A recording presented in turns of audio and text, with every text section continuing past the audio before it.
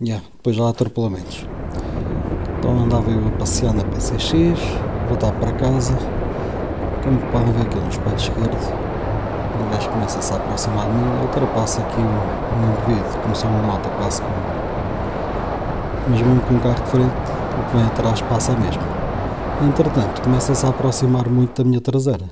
Podem ver aqui que neste momento vai se aproximar muito. Eu comando naturalmente afastar um bocadinho. E ele realmente afasta-se. Entretanto, tenho que reduzir a velocidade porque vejo uma pessoa a passar na passadeira, ele faz-me sinais de luzes e no traço contínuo com a passadeira e vira um carro de frente e passa a toda a velocidade. Incrível. Isto é mesmo a lei da selva. Isto este branco está a ficar complicado. Por isso, eu me admiro como é que não há mais acidentes e mais mortes. Pessoal, conduzam com cuidado. E até à próxima. Tchau.